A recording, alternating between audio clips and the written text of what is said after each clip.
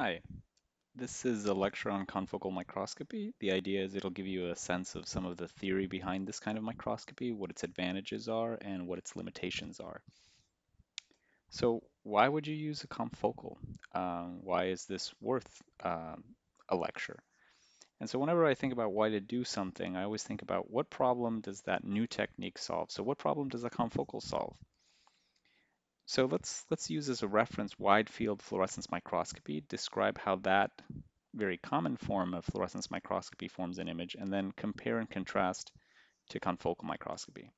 So in wide field fluorescence microscopy, you typically have a sample. In that sample, you have fluorophores. Those fluorophores uh, are labeling things that you are interested in, and they're scattered throughout that sample.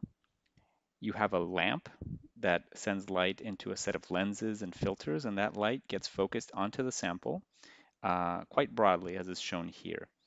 When it does that, those fluorophores uh, are excited by that light, and they emit longer wavelength light, which has less energy. Uh, and those photons are captured by lenses and the, the whole apparatus of the microscope, and they're focused back onto what's called a sensitive area detector, which is typically a chip on a camera that's very sensitive to light. And so, for example, for things, uh, for fluorophores in the focal plane, um, the light from those uh, fluorophores is focused back and forms a, uh, a very small spot on a sensitive area detector.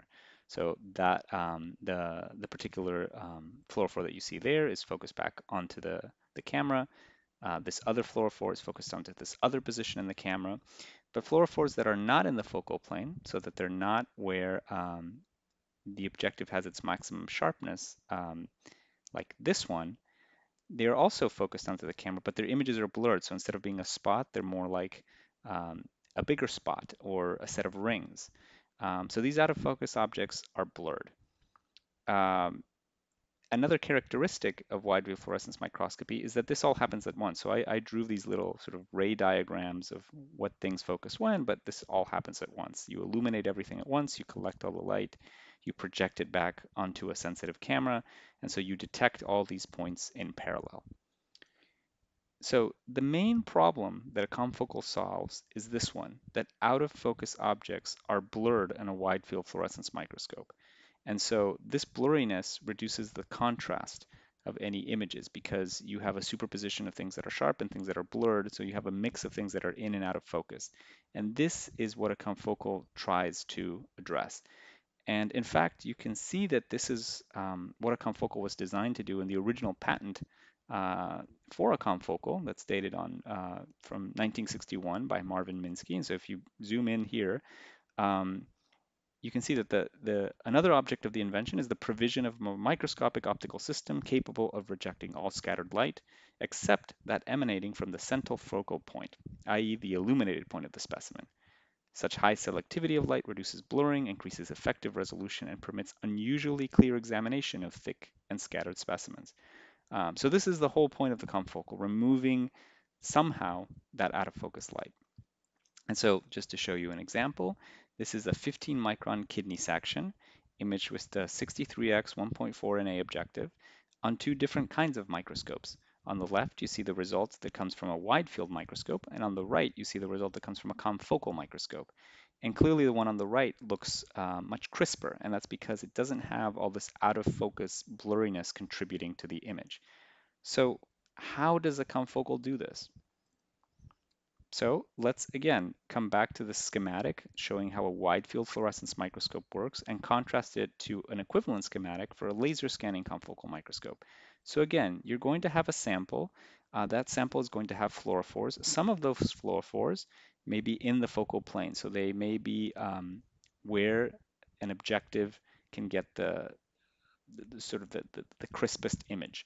Whereas other fluorophores are floating in other parts of the cells that, of the cell that you're uh, not focusing on. And here I've just made those two categories of fluorophores different colors. Uh, but the, the, colors are just for, for schematic purposes so you can see what happens to the light from each. Uh, you should imagine the fluorophores as being uh, essentially identical.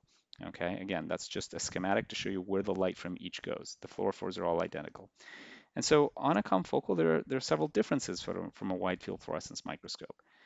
Uh, so the first difference is um, we don't we no longer use a lamp to illuminate the sample. Instead, we use a laser. So a laser is a single wavelength source of light that's um, typically qu uh, quite powerful.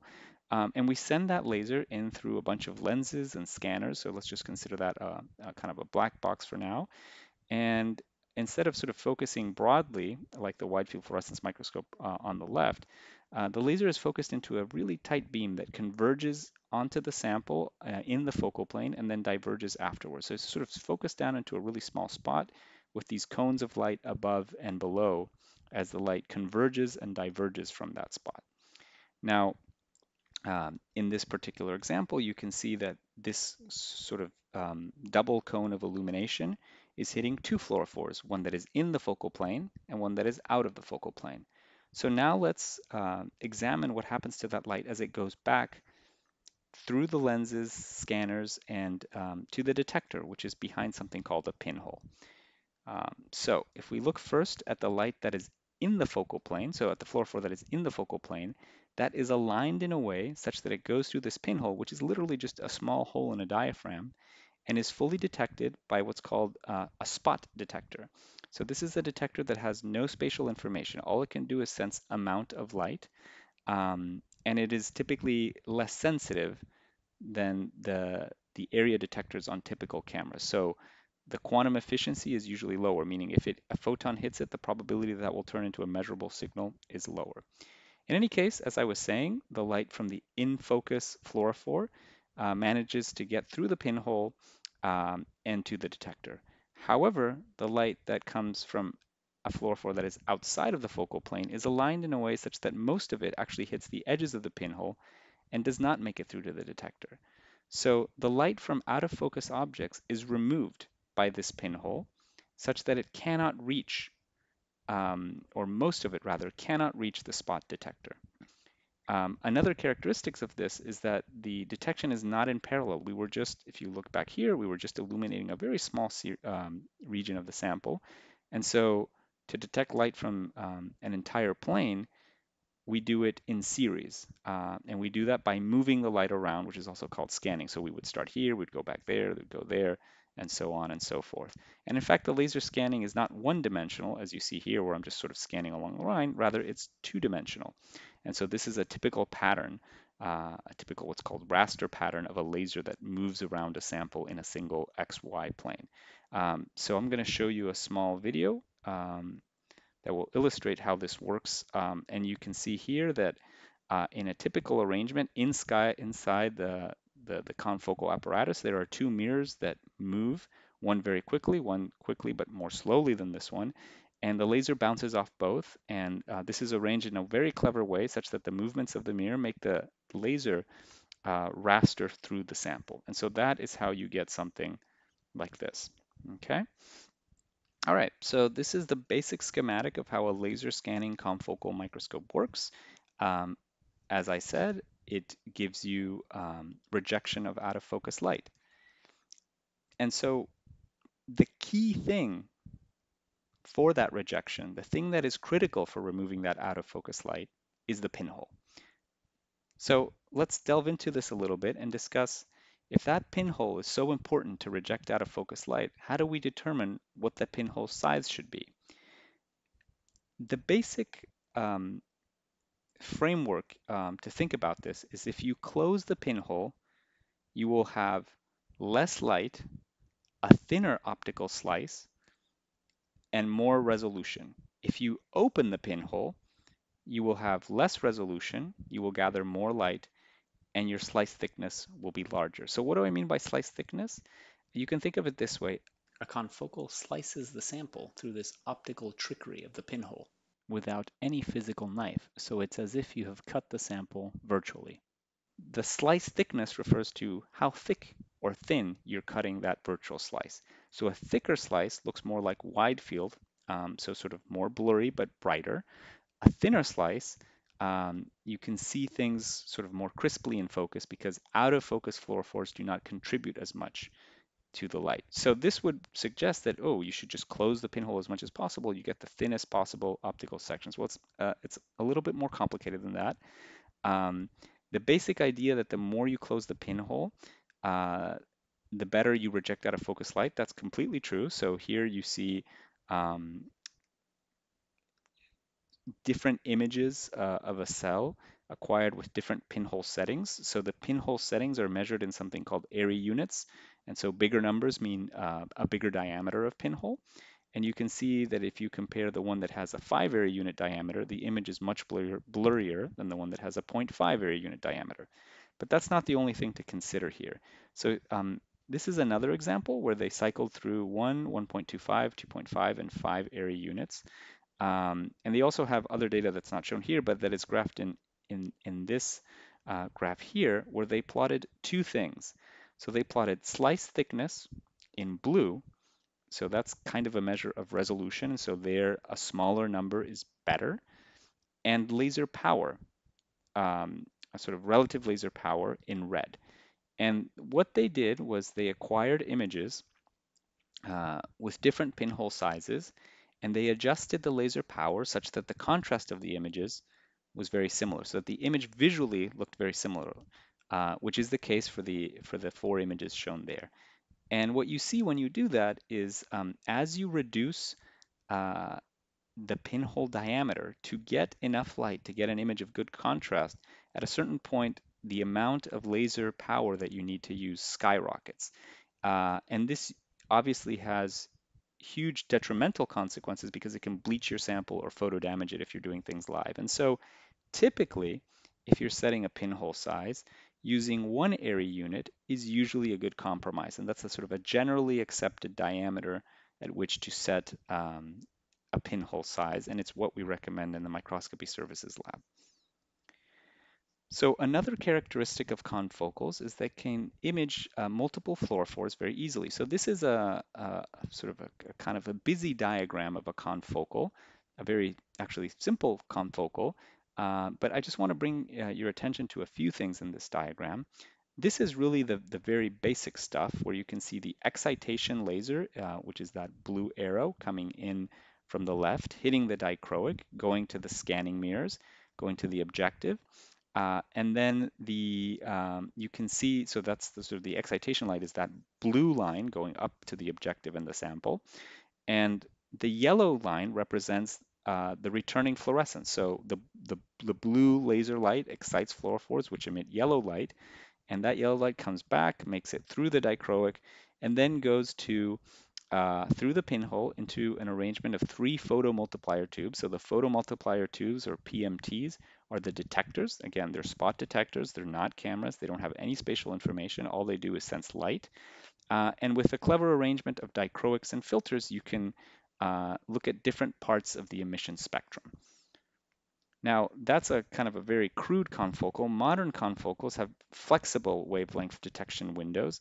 And so I'm going to show you a little video um, from Zeiss um, that, that kind of shows how that works in their case. Uh, the cutout here, so this, this, what I'm showing you in this slide before we get to the video, uh, is the example of the Zeiss LSM 710 light path. There's sort of two of these in cores on campus. That's why I put this here. Uh, and so let me see if I can get, um, yeah, here's an, uh, a pointer. So um, what you see, these are the lasers. They excite the sample, then the light comes back uh, and it eventually reaches here. And what this is, is something called a diffraction grating, where uh, light that hits this object, uh, part of it is reflected uh, kind of in a rainbow pattern. So wavelengths become spatial locations. And once you have that, once you have wavelengths that are at different spatial locations, then uh, what they do in the Zeiss system is they have the detectors arranged spatially so that you end up sending uh, longer wavelengths to one detector, which is this cylinder uh, uh, shown as 12 here, shorter wavelengths to another detector, this is the cylinder shown here, and then the rest to another. So let me show you that video, which I think will illustrate these things. Um, let's see here. And I'll narrate as this um, takes place.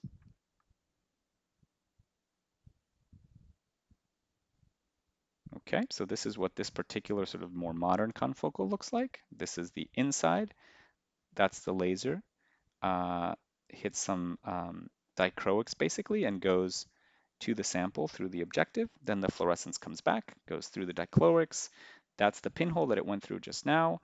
Then it goes to that spectral imaging with recycling loop. And so that's the part that I was discussing where the light that comes back gets uh, bounces off this diffraction grating and different wavelengths uh, are mapped uh, or sent rather to different positions and then uh, once you have that, then it's just a matter of sending the light that is in a different location to different detectors. So you can see the long wavelength red light gets sent to this thing, which is one of the detectors, and the blue um, sort of shorter wavelength light gets sent to this, and then the other uh, wavelengths get sent to um, this uh, detector here at the back. And so by moving uh, these windows physically, you can send different wavelengths to different detectors. And instead of being having fixed filters, you can have a much more flexible arrangement that allows you to use uh, novel fluorophores that might have different curves from the standard ones. All right, so let me go back here. Uh, different companies do this in different ways, this sort of spectral um, flexibility in the detection. So as I said, the Zeiss LSM710 and Zeiss generally, they use diffraction gratings. Uh, the Olympus uh, model is to use something called the volume phase hologram. Uh, Leica uses a prism, that's uh, easy to understand. Uh, Nikon has many different options, so they, they, use different combinations of the of the technologies that the other companies use. Okay, so there's just basically different ways of accomplishing the same thing, having flexible filters that you can adjust to select light of specific wavelengths. Um, one very nice feature of laser scanning confocals is that it can do bright field at the same time. So this is what's called the scan head for the Leica SP8. And so this is a very busy diagram, but down here, uh, you can see this is the objective and that's the sample. And so I want to highlight uh, sort of this detector right here. So this thing that looks kind of like a light bulb. Um, this detector gets light that gets transmitted through the, the sample uh, and can generate a bright field image with that light simultaneous to fluorescence. So that's a very nice feature of uh, a lot of laser scanning confocals. So uh, one other very uh, important feature of confocal imaging is that it allows 3D imaging. So what do I mean by this? How do you do that? So the recipe is you scan the laser in 2D, you move the sample in Z, and you repeat. So you do this in one plane, you move the sample uh, relative to the objective, and you do it again and again. And the nice thing is because confocal is an optical sectioning technique, each plane is independent, and this will eventually allow you to do a three-dimensional reconstruction. So here's an example of this. These are uh, serial optical sections acquired with a confocal of a pollen grain, okay? And so you see things that look very, very different in different planes, uh, but when you reconstruct them in 3D, you get the full structure of the pollen grain in all its 3D glory. Um, so those are really nice features of the confocal, but uh, laser scanning confocal microscopy has a number of limitations. So what are the problems with laser scanning confocal? So the first problem is that by rejecting a lot of the out of focus light, um, before it reaches the detector. And by using detectors that are inherently not as sensitive as cameras, the technique as a whole is just not very sensitive.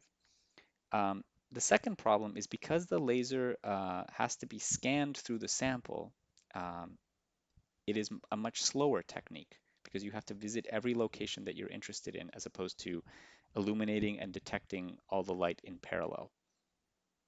Finally, because we use lasers, these are high-powered sources of illumination, confocal can be a very damaging technique. So how do we deal with the problem of uh, lack of sensitivity? How do we increase the sensitivity of a laser scanning confocal? So uh, as I said, there's a number of problems. Problem number one is that standard photomultiplier tubes are noisy and really not very sensitive compared to at least other things. So what can we do about this?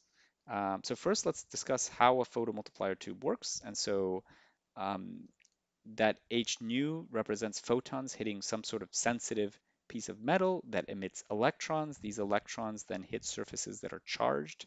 Uh, and in each sort of hit of those surfaces, they get multiplied. More electrons uh, come out and are accelerated to the next surface and so on and so forth. And so basically, uh, the signal gets amplified as it moves through um, the tube. Uh, that amplification uh, is uh, sort of the source of the noisiness of these of these tubes. Um, and so they're not these these these photomultiplier tubes are really not very sensitive. So so the following graph is a graph of quantum efficiency.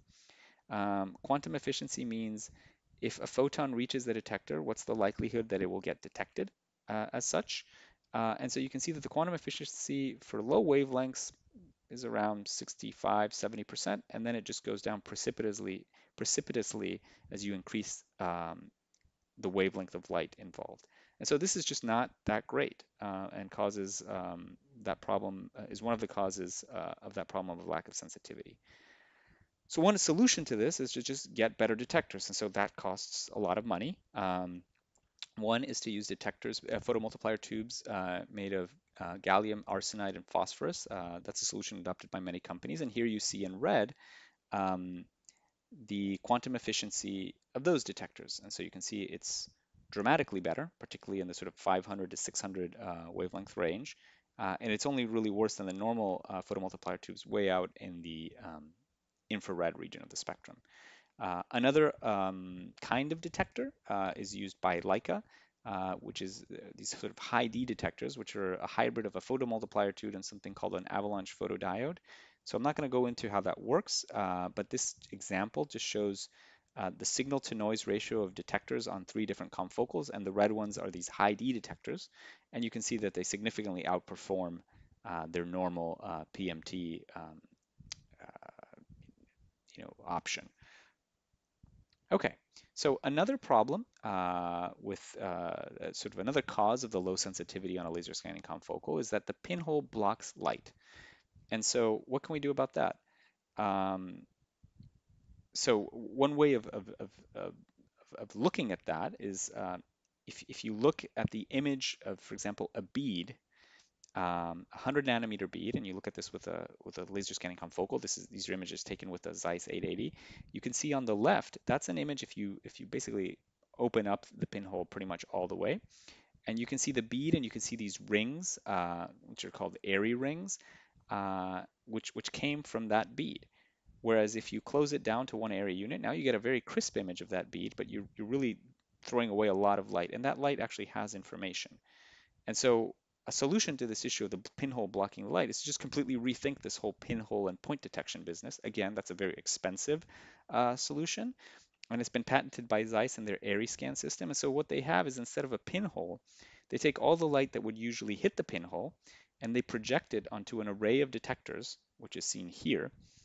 Uh, and then they use the information from all of these detectors to make a model of what um, of what this looks like, which is uh, kind of the image of a point object.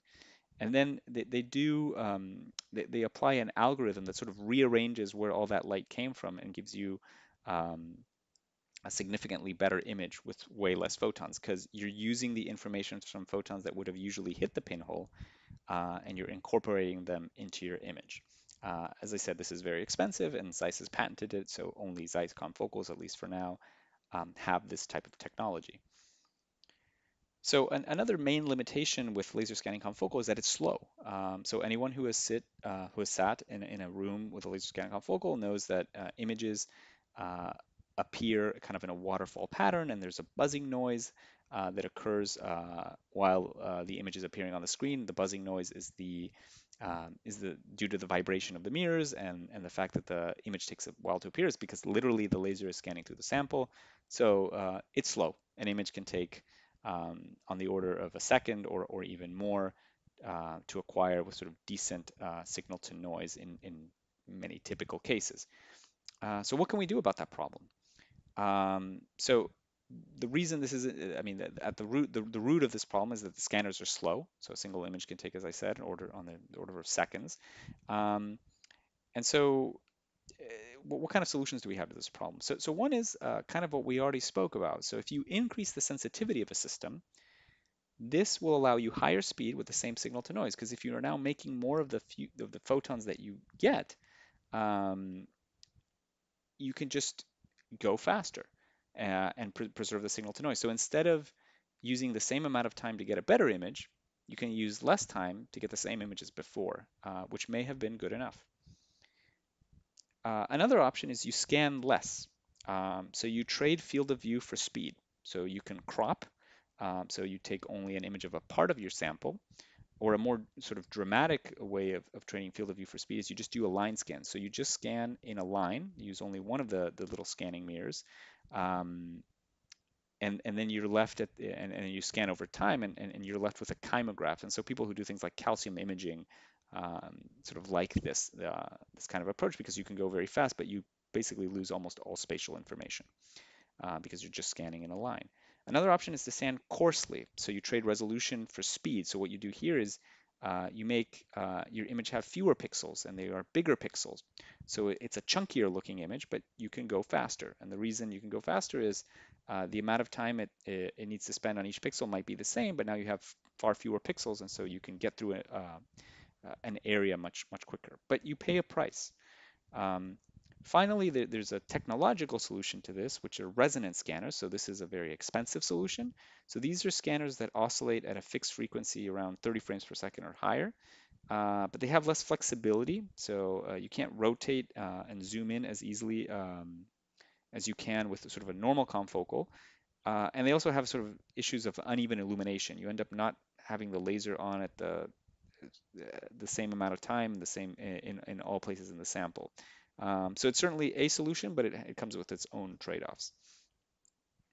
Um, the, the, other thing to, to, to keep in mind is that if you go very fast, this will cost you photons because you're not pointing the laser at each location for as long. Therefore, you are not recovering fluorescent photons from every location for as long. You get fewer from each locations. And so um, you're sort of stuck because if you go really fast, you can go fast, but then you don't get enough photons to do anything useful with that speed. Um, all right, so let's discuss another problem with laser scanning confocals, which is that um, the laser itself can be very damaging. Um, so how do we decrease the damage of a laser scanning confocal? So let's let's first discuss the problem. The problem is that light damages cells and damages fluorophores. And so this is um, uh, kind of a, a, a two-panel image, uh, a six-panel image where the, the top and bottom row illustrate different things. So the top row uh, shows fluorophores in a cell, and the bottom row shows a bright field image of those cells. And so you can see that the more that these cells were exposed to light, the fluorophores uh, were destroyed. That's called bleaching. And uh, the more that these cells were exposed to light, the cells were destroyed, which can be evidenced by that arrow there showing sort of blebbing on the surface of the cell and which we typically call this photo damage. Uh, and so light damages cells and fluorophores. There's no getting around this. Uh, and the fact that the, the confocal needs to use a, a, laser focused on a really small spot, um, so it's, it's very concentrated light, that is not good. So what can we do to this? Um, so again, so solving one problem often solves more than one problem. So if we increase the sensitivity, we can um, get an image with the same signal to noise as before, but with less damage um, we can get more out of the photons that we do recover from the sample. Uh, we can also scan more coarsely. We trade resolution for less damage. So um, if we have fewer pixels, we're not on each pixel as long. Um, excuse me, we're, we're not on the sample as long. Um, and so we don't illuminate as much, so we have less damage. We can also scan faster. Um, so if we're not on each pixel as long, we can um, eh, we can sort of damage it less, but we, we, we will trade off sensitivity. We won't get as much light from each location, um, so we'll get an image that will be sort of noisier. Another option um, that's uh, maybe not intuitive is that um, using longer wavelengths um, decreases damage. So longer wavelengths are much less damaging to the sample than shorter wavelengths. Uh, this is the reason uh, that uh, when we train folks, we always tell them to acquire their uh, their different channels if they have multiple channels from longer to shorter wavelengths. The idea being um, you don't want to bleach uh, your, your, fluorophores by starting with the most damaging wavelengths, which are usually um, which are which are the shorter ones. Finally, uh, something that, that, that's simple to say, but often not as simple to implement is, you know, improving the sample will make your life easier in so many ways. So um, in live samples, if we use brighter and more stable fluorophores, that will just make, um, it will allow us to, to get so much more um, from every, every sort of scan location in the sample. And if we're using fixed samples, um, using mounting media can, can, can dramatically um, lower the photobleaching rates uh, of fluorophores, and so it's highly recommended. So as you can see after this discussion of all the, the problems inherent in confocals, uh, we're sort of stuck in what, what I would call a pyramid of frustration. Uh, so we, we can optimize for spatial resolution, for contrast, for temporal resolution, and for specimen health. But when we, we, we increase um, one of these parameters, we drift away um, from some of the others. So we can we can get spatial resolution and contrast, but that comes at the, the cost of temporal resolution and specimen health. Um, and basically, in, in any combination, eh, you're left with uncomfortable trade-offs. So you're trying to navigate the space um, and, and, just trying to optimize for what's most important to you. So if you're doing live cell imaging, that's going to be specimen health, so that you're studying whatever you want to study and not the death of the cells because you're imaging with the confocal. Uh, it may be temporal resolution if you're studying something very fast. Uh, or it may be spatial resolution on fixed cells where you don't care as much about specimen health because they're fixed, uh, you're in the mounting media, uh, but you pay a price, for example, in time. So what are the parameters we actually adjust on a laser scanning confocal when we're trying to navigate that, again, pyramid of frustration? So for contrast, there are four parameters that we typically adjust. Those are laser power, photomultiplier tube gain, scan speed, and averaging. And for resolution, we adjust for other parameters, which are zoom, image size, frame size, and pixel size. So let's start with contrast first. So how do you optimize contrast on a laser scanning confocal? Uh, the first thing I usually do is I try to balance laser power and photomultiplier tube gain um, to get an image of high enough contrast uh, with low enough bleaching. And so the way I do it is as follows. Uh, there's sort of two extreme cases of things I can do. One is if I have the laser power very high and the photomultiplier tube gain quite low, I'll get an image that has high contrast, but it also has high bleaching. On the contrary, if I make the photomultiplier tube gain really high and the laser power really low, so on this end, I'll get an image with low contrast and low bleaching. And I can trade off one for the other depending on how much contrast I need and how much bleaching I'm willing to tolerate. So what does this look like in practice? So, so this is an example where I balance gain and laser power. Uh, and balance, why do I say balance? Because I adjusted them so that the brightness of the image that I got was always about the same. Uh, but you'll see that for different settings, the contrast of the image was different. So this is an example where the gain was quite high at 700 um, and the laser was quite low at 0.45%. As I go through these images, you can see the effect of lowering the gain and increasing the laser power. Uh, and I think you'll agree with me that by the time you get to a gain of 450 and a laser of 55%, the contrast of the image is much higher than when we started. Um, but because we have the laser so high, that will come at the cost of higher bleaching. Okay, so what other parameters can we adjust? So the two other parameters that we can adjust to optimize contrast on a laser scanning confocal are the scan speed and the averaging. So scan speed uh, is exactly what it sounds like. Uh, we can make the laser move through the sample more quickly. Averaging means we take multiple images of the sample and then we combine them by averaging them together. So if our scan speed is very high, the contrast of the imaging uh, of the image will be quite low, but it'll go very fast. If the scan speed is much slower, we'll have a higher contrast image, but it will take longer. Similarly, for averaging, if we don't average at all, we will have lower contrast, but it will go faster. Whereas if we average, we'll have a higher contrast image, uh, but it'll take longer to acquire. So here is an example for averaging. This is uh, no averaging, and then this is an average of two frames, four, eight, and 16. And so in this example, you can see, let me go back, no averaging, two, four, eight, 16. you can see a number of things. Uh, so first, the more we average, the better it looks. But you can see that the increase uh, is, um, is not really directly um, proportional to the amount of averaging. So the more we average, the more the image improves, but by a smaller and smaller amount. And the improvements uh, are more noticeable where the image is noisier. Um, so that's something uh, to keep in mind. There are sort of diminishing returns to averaging more and more. Yes, the image will improve, but it might not improve very noticeably, and so it's really not worth doing.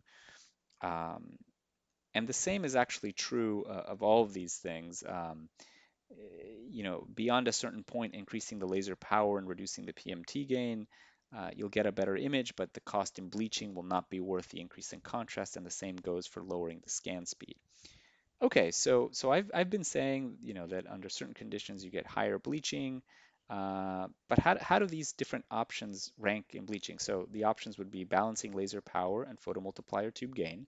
Um, that, that's that's one option for for increasing uh, for optimizing the contrast. Another is fiddling with the scan speed. Another is doing averaging. So how do they compare as far as bleaching? So the worst for bleaching is having a very strong laser uh, on the sample. Uh, that is the absolute worst. So it's the fastest thing because it doesn't cost you any time, uh, but it's the most damaging option. Uh, on the on the on the extreme other end, uh, averaging is the gentlest of the options. So if you average, uh, you will bleach more than if you don't. But for the same increase in signal to noise, you will have less of an increase in bleaching than if you balanced out the laser power and the photomultiplier tube gain. And fiddling with the scan speed uh, typically falls in the middle, which makes it tip, you know, usually a very bad investment. And the reason is for the same investment in time as averaging, you get a very similar increase in contrast. So if you average more or if you scan more slowly, the image will look better. But for the same increase in contrast, uh, reducing the scan speed costs you more in bleaching, uh, meaning it's more damaging for the sample to have a laser going around it slowly than to have the same laser whizzing by quickly just a bunch of times. Okay, so that's something to keep in mind and why uh, I usually recommend to people to balance laser power and photomultiplier tube gain to get as much uh, contrast there as they can get away with without bleaching, uh, because that's the fastest thing. But then if that's not enough, to use averaging and not speed, because averaging for the same improved uh, contrast costs you less in bleaching. Okay, so one thing that's very, very important is when you're adjusting parameters on a confocal, you want to beware of signal saturation. Uh, saturation will irreversibly destroy your data. So, so what do we mean by saturation? So what we mean is um, if you acquire images where the pixel values um, are so high that they are at the detection limit of the detector, at the upper detection limit, uh, the detector will not know whether um, the signal from that location was at its actually at its upper limit or twice that value or three times that value. So you have sort of a ceiling effect where you can't measure properly uh, what was going on in that location. And so even if you don't care about measuring anything, this will severely distort the morphology. So on the left, you see uh, basically actin filaments uh, acquired with settings that are appropriate. And on the right, you see them acquired with settings that led to a lot of saturation and saturated pixels. So pixels that have the maximum possible value that the detector can give are shown in red. And so you can see that where there are actually filaments, for example, down here, uh, in the saturated image, they're just blobs. And I could make the saturated image show the saturated pixels in white, and it would be the same story. Uh, I've just highlighted them red, but you would basically see blobs, where in reality, there aren't blobs, there are little filaments. It's just that um, the saturation uh, is distorting the morphology. So even if you don't care about actually measuring things, uh, you should never um, set up your settings in a way that you know you will saturate uh, any of your images. Um, and the criterion for what you can leave to get saturated is usually I always tell people like okay if it's a piece of you know garbage that even your worst enemy reviewing your paper would agree is garbage uh, then sure, you can leave that saturated and, and, and take the nice cell look, you know, next to it. Uh, but be very careful because uh, the saturation process is irreversible. There's no way of recovering what was going on here without uh, retaking an image with different settings. Okay, uh, so that's one of the problems with saturation. The other, um, yeah, so here this is just an inset to compare the details. Uh, the, the other problem is that this makes quantification impossible. So if you actually do need to quantify, the fact that your data has a ceiling effect uh, renders any analysis uh, highly suspect. So if I draw, for example, a line across um, these two images, um, you can see the one that was okay, the one on the left, that's that this is showing the intensity as a function of distance along that line. Uh, the one on the left is that one that says okay, it's blue. So you can see nicely, you know, what the peaks look like, whereas the one that was saturated, you can see, for example, here, how it just sort of topped out at 255 units and this plateau is not really a plateau. It's just that the, this got chopped off and flattened into that um, kind of mesa. All right. Okay, so how do we avoid saturation? If this is so bad, what, what do we do to not get this problem? Um, so uh, what we do is we find a bright object in the brightest experimental condition.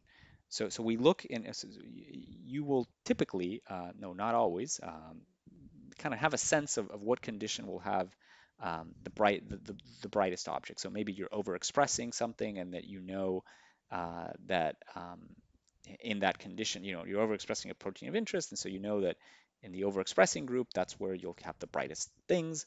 Um, and so you, what you should do is you should use that experimental condition and then find kind of the brightest object in the brightest experimental condition that you would be interested in. So, um, you know, if you're not going to look at cells that are 100x overexpressing a protein, you're just going to look at 10x, well, then, you know, find one that's at 10, 12, 13, kind of at the upper limit of what you would be interested in.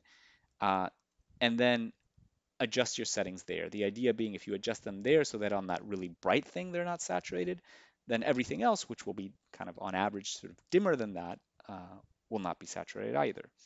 Um, so once you find that bright object, you uh, adjust um, your parameters so that your maximum pixel intensities are sort of at half the full range. And so um, in the Zeiss confocal software, you can very easily highlight an object. So this is a, a, nuclei stained with DAPI. You can highlight that object, and you can look at a histogram of the pixel intensities in that particular object, and you can see uh, that these pixel intensities you know, follow a distribution. What you want is to adjust your, your parameters, so what we discussed before, the laser power, the photomultiplier tube uh, gain, um, so that the right edge of this histogram is kind of in the middle of the full range. Uh, and so why the middle? Why not up to here? So the reason is because if you adjust things so that your brightest pixel is very close to um, the, the, the, top limit, uh, the, the, confocals are quite noisy. Uh, so you could get uh, the occasional saturated pixel, but the, the, the actual, the, the, the, main reason is that if you have something uh, that's that bright, um, uh, the problem is that uh, you might think that that's the brightest object in your brightest experimental condition, but perhaps it's not. Perhaps you find something that's 50% brighter later and that it falls within the realm of what you want to study. And so that for sure will be saturated. So the idea for adjusting your maximal pixel intensities at kind of half the full range is that you'll have a safety margin, so a buffer that you can use in case you run into something brighter. Because if you don't, you'll have saturated images, and then you're left with a tough decision of whether to re-image everything or to toss out that saturated image, uh, which will kind of reduce the universe of applicability of your results. Okay, so that's contrast. Um, that's so we've discussed how to adjust contrast, how to avoid saturation. Uh, the next issue is how to optimize resolution on a laser scanning confocal, which is not the same as contrast. Um, and so this really comes down to what level of biological detail do you need? Um, and so beware because more is not always the right answer. The key concept is what level of biological detail do you need, not what level do you want. Um, you know, we all want uh, pictures that, that, look amazing, but sometimes you just don't need that. So let me kind of show you an example of why more is not always the right answer. Uh, so you may not need high resolution. So for example, if you're just counting nuclei, uh, the image on the right undoubtedly looks nicer than the image on the left. But if you have an uh, sort of an automated algorithm that just segments nuclei and finds them in images, the one on the left might be good enough. And so what the one on the left gives you is more time to count more nuclei, and that might be a much better investment of your time than getting these sort of really nice detailed images where really um, you don't need that for, for the kind of analysis that you're doing. On the other hand, if you're in a situation where you're studying something like mitochondria, clearly the image on the left is, is, is, is sort of a hot mess. Uh, you know, the, it's, it's, it's, the pixels are so big that we can't really see anything.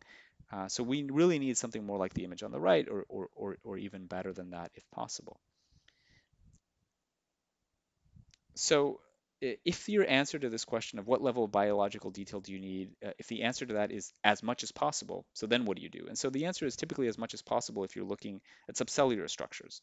So, you know, organelles, uh, you know, it's like you're, you're interested in, in, what, what's happening to mitochondria when you give your cells a drug, um, what's happening to the endoplasmic reticulum. And so those are examples of cases where the answer is, what biological detail do I need? As much as possible. Um, so what do you do in that scenario? So, so there's a few sort of key concepts that you have to understand um, to understand resolution and, and, and, how you address this issue of how, you know, how, what, what do I do in that case? Um, so the first key concept is that uh, point objects are blurred. So if you look at, at something that's a point object, and a good approximation of a point object is a single fluorescent molecule. That's something very small. It might have a diameter, if it's GFP, of something like two nanometers. Uh, if you look at that with, with, with, with, you know, a perfect laser scanning confocal microscope, um, you don't get an image that has a two nanometer dot. Instead, it's blurred, okay? And it's blurred such that the um, it, it's blurred in, in, X, Y, and Z. Uh, in XY, it's blurred out to about 200 nanometers. And in Z, it's blurred out to about 500 nanometers in a sort of football-like shape. Um, and so that's a problem. Um, and so that leads to the key concept number two, which is the way we define resolution is as the minimal distance we need to distinguish two point objects. And so in XY, you can see these are examples of what are called Airy disks, which are just basically those blurry images of point objects. Uh, and the idea is if you have a bunch of them close together, uh, because they're blurry, those blurs kind of merge together into one bigger blob, and you really can't tell if you have uh, one object or two objects very close together. And so the minimal distance where you can kind of tell that there are two objects, that's what's called uh, the resolution. And so uh, that's exemplified here for the XY um, case. In Z, you have a similar uh, issue. It's just that you know things are blurred in Z worse than they are in XY. Uh, and so you can imagine a distance where you can tell two things apart, a distance where they're too close together, so you really can't tell if you have one or two things, and then kind of a minimal distance um, where you can just barely tell that they're apart, and that would be the resolution in Z. So, so one thing that's a little bit confusing uh, with this terminology is that when you say that a microscope has high resolution, it means these numbers, these resolutions in X, Y, and Z are small numbers. Uh, whereas if you say a microscope has low resolution, that means that these are big numbers. Um, so just keep that in mind um, as, as you're thinking about this. Um, so what do these what do these resolutions depend on? So they depend on the fluorophore wavelength uh, and the objective numerical aperture. So if the fluorophore wavelength is a smaller number, uh, you get higher resolution. If the objective numerical aperture is a bigger number, you get higher resolution. Okay, so the, the, the, the third key concept you need to understand uh, to, to, to optimize resolution in a laser scanning confocal is how you sample optimally in X, Y, and Z. Okay, so in XY, your sampling unit is basically the pixel size. So the pixel size is the smallest unit in your image, and so that's what you're sampling with. And so if you imagine, uh, you know, a situation like this, if your pixel size has this size of this sort of red square, uh, you know, you're losing a lot of detail. Your optical system may be able to tell the difference between these two things, but everything here is going to be turned into just one number, just one sort of blob here. Um, so obviously that is not the right pixel size if you're trying to get the highest possible resolution from your system. On the other hand, if you have pixels that are this size, um, the blur uh, of the system is so much bigger uh, that, that, it's kind of overkill. So you're wasting your time, you're bleaching unnecessarily, and you're not really getting anything. It's sort of empty magnification. So uh, kind of somewhere in the middle, there's an optimal pixel size, which is represented by sort of squares of roughly this size. And that optimal pixel size is roughly the resolution in XY uh, divided by 3. And this divided by 3 comes from something called the Nyquist criterion, which is just uh, something that establishes for, for, for a signal that, that, that varies uh, in space, how much do you need to sample it to get an accurate representation of that signal. Um, so that's in XY. Uh, in Z, this, the, the sampling is the spacing between the optical slices that you take. Um, so if that's the resolution marked in red, if you take slices at this distance, uh, you're not going to get as much detail as you, you know, could.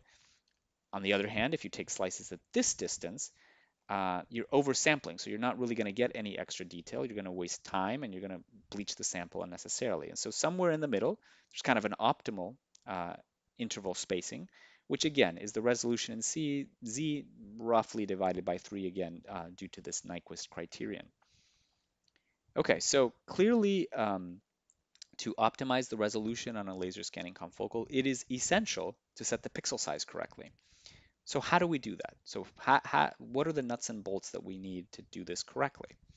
Um, so the four parameters that we need to understand um, how to modify and how they're interrelated are zoom, image size, frame size, and pixel size. And so to set the pixel size correctly, um, let, us sort of break down this problem into into in, in, into parts.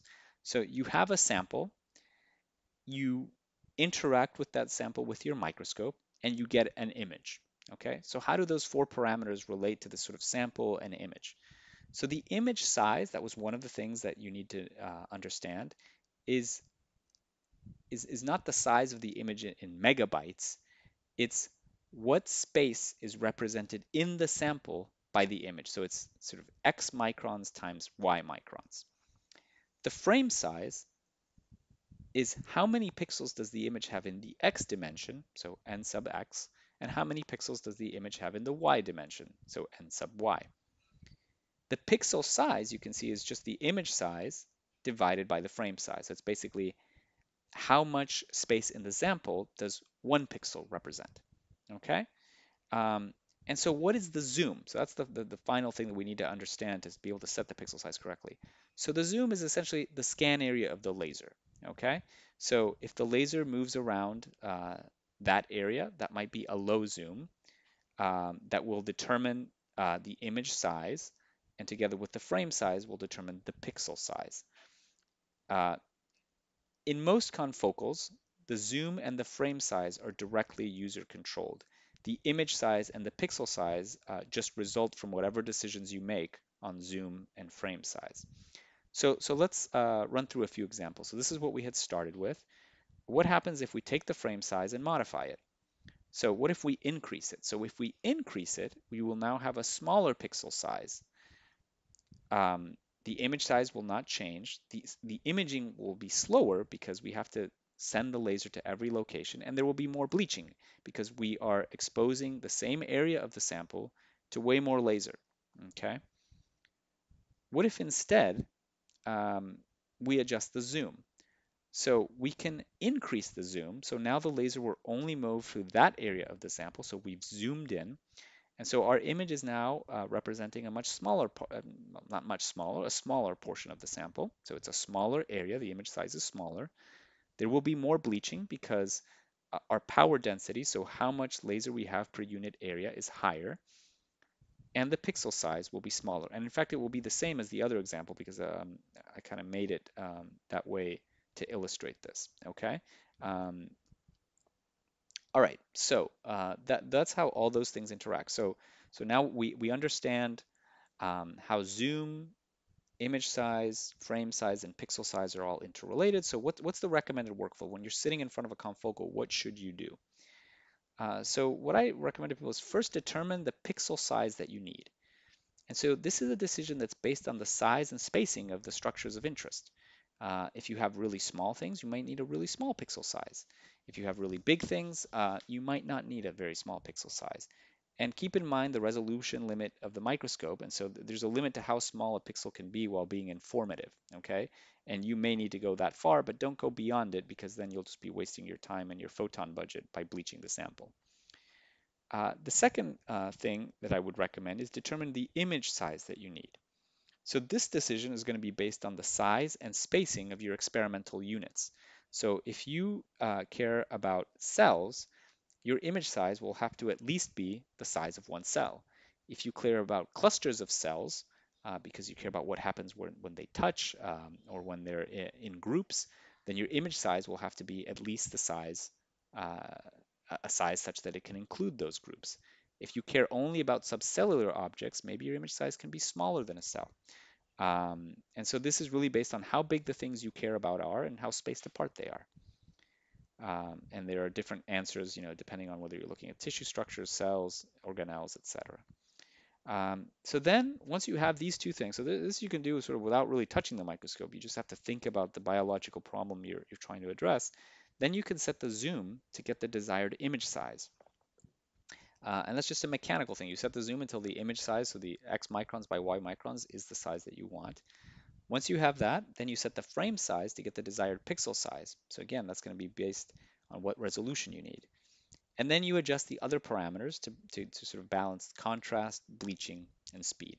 And so this is how I, I usually do things. I, I, first I set set things up so I can sort of see the sample, uh, but then once I have something, I figure out what pixel size I need, what image size I need, set the zoom, the frame size, and then tweak the other parameters so I get good contrast, low bleaching and as high speed as possible. Um, so let me switch gears a little bit. Uh, there's more to confocal than just laser scanning. So everything I've talked about so far uh, refers to laser scanning confocal microscopes, which really optimize for spatial resolution and contrast uh, at the expense of specimen health and temporal resolution. Um, but there's a different kind of confocal, and we have one of these in the microscopy services laboratory called spinning disk confocal, which operates on uh, slightly different principles uh, and is better optimized for specimen health and temporal resolution at the extent of spatial resolution and contrast. So how does a spinning disk confocal microscope work? Um, bear with me, this is a kind of a complicated diagram. Um, I hope at the end of it you'll have some understanding of how this technology works, and I'll also show you a video which I think illustrates these concepts as well. So in a spinning disk confocal microscope, what you have is an expanded sort of beam of laser light that hits first a disk um, with a whole bunch of micro lenses, so very tiny lenses. These lenses focus an array of laser beams, so they transform this one laser here into an array of laser beams that goes through a dichroic and then hits another disk, which has a bunch of pinholes. So it's, it's an array of pinholes. And then continues through um, the microscope through the objective onto the sample, where it illuminates a whole bunch of little points in the specimen. Um, the light from each of the illuminated points comes back through these pinholes, rejecting out of focus light, and then hits the dichroic and is projected onto a, high sensi a highly sensitive uh, camera. Okay, so with what I've explained so far, you basically have the sample illuminated with a bunch of little dots, and you collect the light from each of those dots and project it onto uh, a camera. That by itself is not very useful. But if you now take these disks and spin them very quickly, what you have is you illuminate different dots uh, as time goes by in the sample. And if um, the, the, the, these arrays of lenses and pinholes are properly set up um, on these disks, you eventually, with enough spins of these disks, so if you spin them very quickly, you cover the entire sample. So uh, if you expose the camera for long enough, what you get is an image of the entire sample where each point uh, was acquired in a confocal manner. Uh, you can think of it as kind of a, a highly parallelized form um, of, of, of, of, scanning of, of, of the laser scanning micro, uh, confocal microscopy that I showed you before. Um, so it's, it's much faster, it's much gentler because the laser light is spread into many small points. And because it, the light is projected back onto a camera that's more sensitive than a photomultiplier tube, um, it, it's, it's really a very sensitive form of microscopy. Now let's look at the video that will illustrate these same things. Um, let me go here. So here you see uh, the two disks, light going through the first disk, uh, through the pinholes, and how you can get a better image. That was a little bit faster than I would have liked. Um, let's see if we can, um, yeah, okay, so here's, here's the sort of slower version of this. There's a light going through, and what you'll see is that the, the different kind of beams scan the entire sample, and then you can get, you know, 3D reconstructions. So hopefully that is of some use. Um, the video is a little bit faster than I would have liked, but um, hopefully that, that, that, that helps you and you can look at the video later to understand these concepts. Okay. So um, just to, to do a direct comparison on a laser scanning confocal microscope, um, these are the raster patterns that you get. Um, and you can take Z-stacks by just moving the sample relative to the objective, which is what we see here. On a spinning disk, it's very similar, except that the, the raster patterns that you get are these sort of um, kind of round things because they're, they're, generated by little dots that are in these um, that are generated by these arrays of microlenses and pinholes that are on disks that spin. But the end the end result is very similar. You get an optically sectioned um, uh, sort of optically sectioned images of the specimen. Um, so so so what are some of the problems with spinning disk confocal microscopes? Um, so, so, one of the problems is that um, if you have a, a thick sample, uh, this whole confocality and rejection of out of focus light uh, breaks down. So let me show you first uh, what happens in a thin sample. So in a thin sample, uh, the fluorescence that comes from things that are in focus, which in this diagram is shown as green, um, that goes through the pinhole uh, and then eventually onto the dichroic and onto the camera. So this is great. And light that comes from things that are out of focus. So this sort of lighter green uh, that comes from a place that, that that's in a different z-plane, uh, that light is aligned in a way such that it hits the edges of the pinhole uh, and never makes it, uh, for the most part, to the detector. So, so that's great. Uh, you get the out of uh, rejection of the out of focus light, which is exactly what you want. That's true for a thin sample. The problem is if you have a thick sample, um, the out of focus light uh, is, is, is, there's so much of it that it can bleed through uh, other pinholes and contaminate your sort of clean signal from the things that are in focus. Uh, and so uh, what that means is that um, this type of device doesn't have as good optical sectioning as a normal laser scanning confocal. Now there's a solution to this, which is that kind of newer models uh, of these uh, devices have uh, pinholes that are that are sort of more spaced apart. Um, but it's still the case that um, you can have some crosstalk, and so the laser scanning confocals that use single pinhole, uh, which are sort of what I discussed for most of this this this talk, um, have better um, performance uh, at depth in sort of thick samples. All right, so confocal is great, um, but it's not always the best technique for every application. Uh, so wide field fluorescence microscopy, which is what we started with in, in, one of the first slides, is fast, it's sensitive, and it's actually great for thin samples. So things that are smaller than, than, than 10 microns, this can work very well. And so uh, these images are an example from a paper uh, done as a uh, collaboration between the Calabrese lab and, and, and, I'm on this paper. And so what we were looking at there um, was, was three-dimensional uh, distances between different locations in the nucleus of a cell. And we didn't use confocal at all. It ended up being the case that, that um, using wide field fluorescence microscopy, doing Z-stacks and applying an algorithm called um, deconvolution to get sort of um, uh, better, higher contrast images uh, was uh, made this possible. Uh, it, it, the confocal was not fast enough and it actually wasn't sensitive enough to pick up these signals. So, so that was an example of a case where wide field was, was a better choice. Uh, on the contrary, uh, you know, confocals, they're slow, they're less sensitive, but they're great for thick samples. If you have anything that's, you know, thicker than 10 microns, um, these can be great. So this is an example uh, of nerve terminals in the cochlea from the Fitzpatrick lab. Uh, and so this is, this is a, a, spiral preparation of the cochlea where they dissect out um, all the cells and they sort of lay them flat and it, it's about a, several tens of microns thick. I think it's something like 100 microns thick.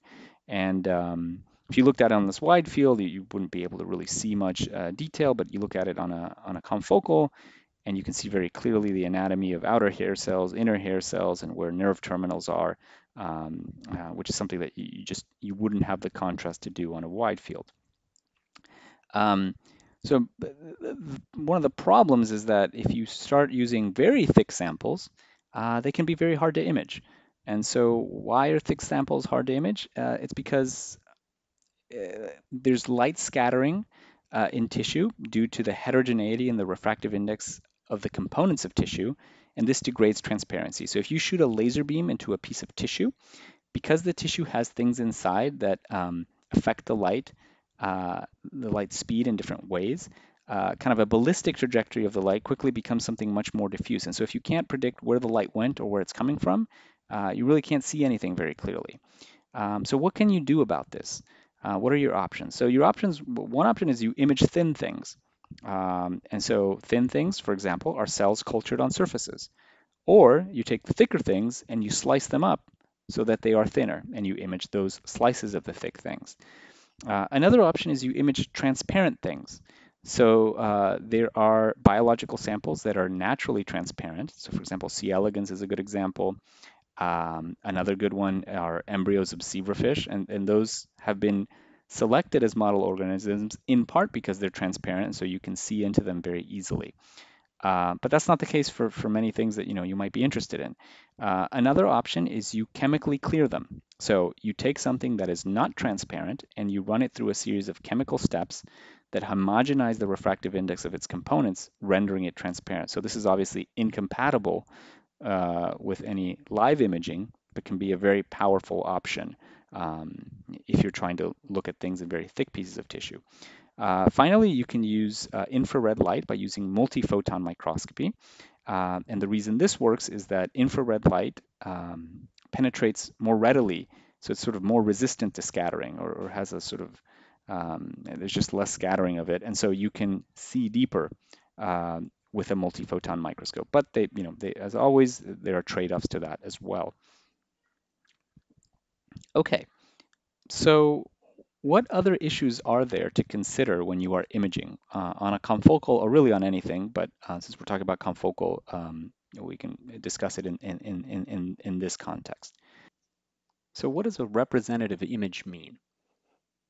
So really this question comes down to what population are we making inferences about? So in biology and usually in, in, anything, you don't take a census. You don't measure every single thing that you are interested in. Instead, you take samples, you take a small subset of a population, you study that small subset, and based on uh, what you measure there, you draw conclusions or make inferences about the larger population. And so whether you can do that appropriately comes down to how you sample that population. So how do you extract that subset of elements from that larger group? to ensure that it is representative. And one, one sort of way that is established as a, as a good way of doing this, because it does lead to representative samples, is random sampling. And this is in contrast to something that uh, happens a lot during image, which is picking areas that look right. So if you look around a sample, you may have all sorts of explicit and implicit biases uh, for the kinds of cells, for example, if you're looking at cell culture, that you want to focus on. But if you do that, uh, when you do that, what you're doing is reducing the population to which you can extrapolate your conclusions. So for example, if you do not um, look at cells that seem like they are dying, then you are not um, studying the whole range of phenomena that are possible. And you may have very good reasons for doing that.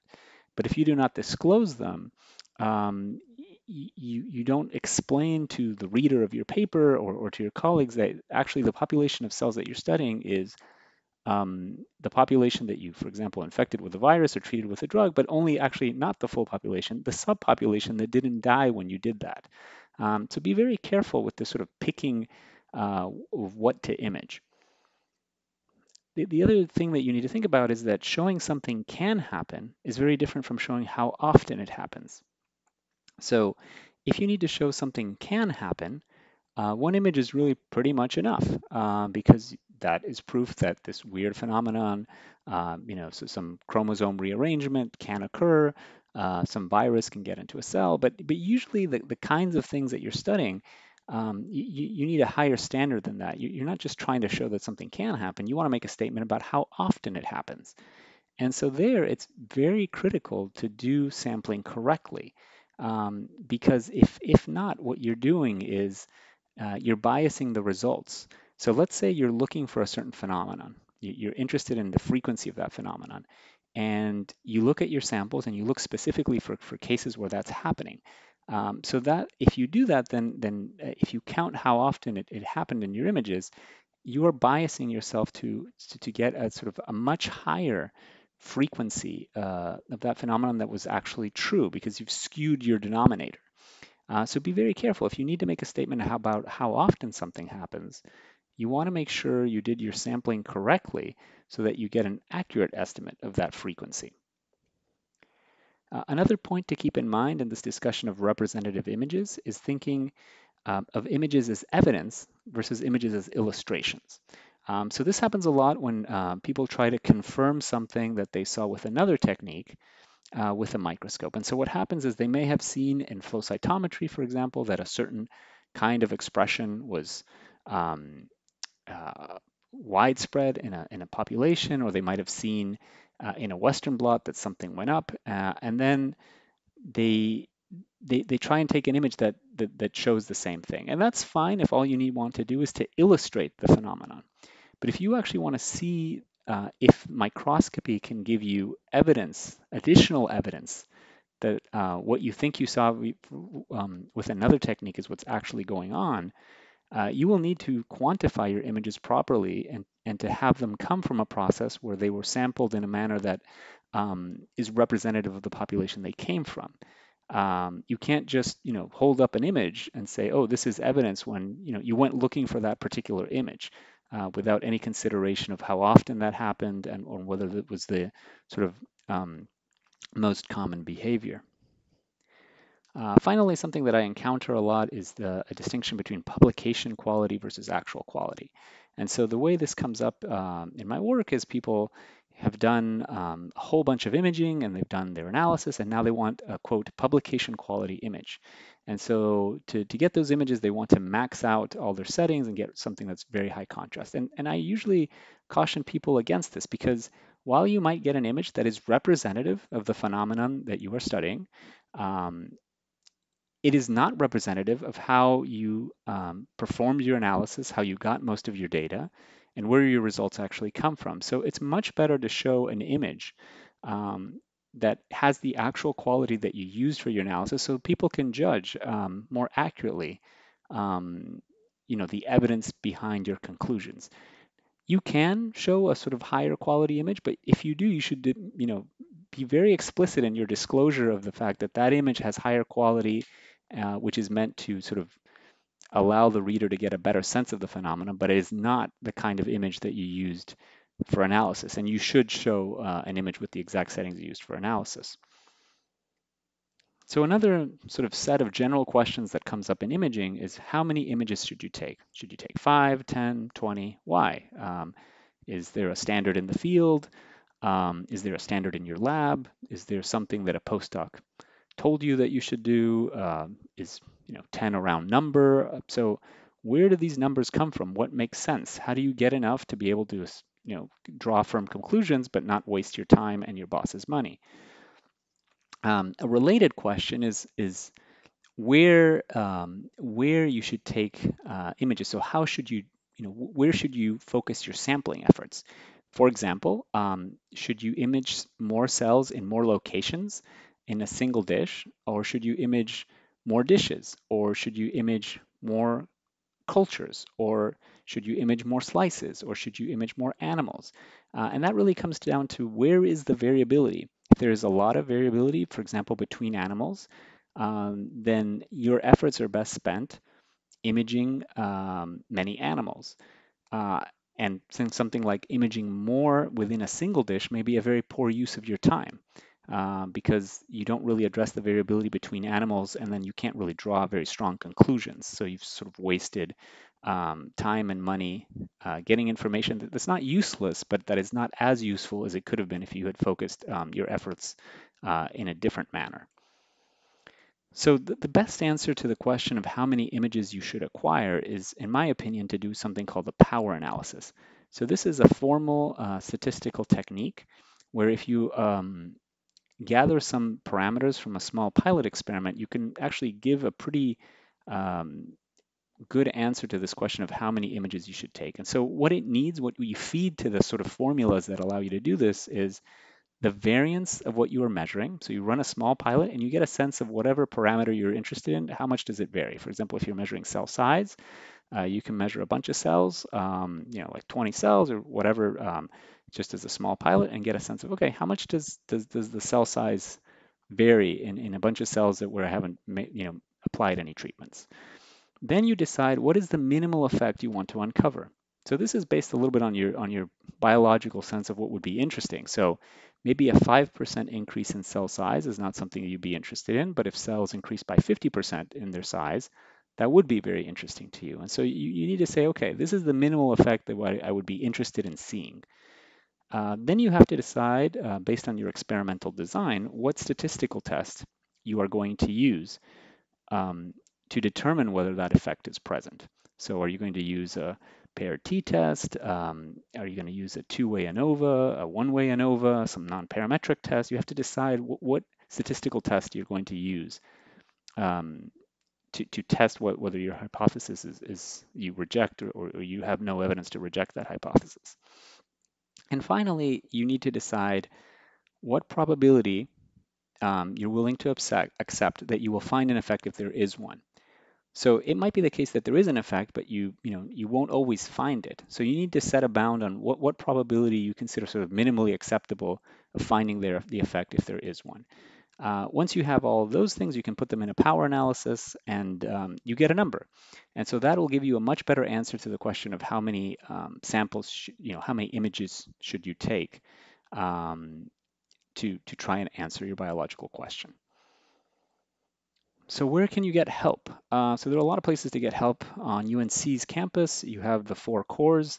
Um, you can contact all of them um, for help. Uh, my core in particular, we have a rigor and reproducibility section, uh, which you know goes into some of the things uh, that I went to in this talk and some that I didn't, like sample preparation.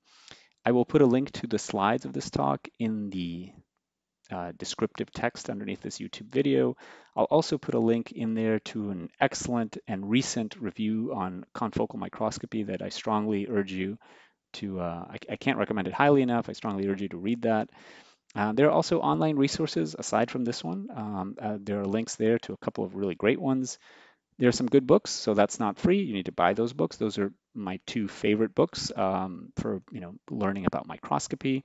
And there are some really great courses. Those are very expensive, so you typically need to, your lab to pay for them.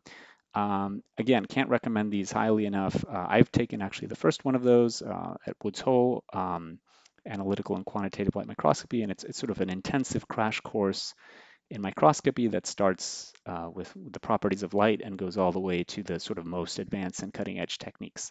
Um, so those are all places where you can get good information and um, you can always contact me um, if you have any questions. So I hope you found this useful.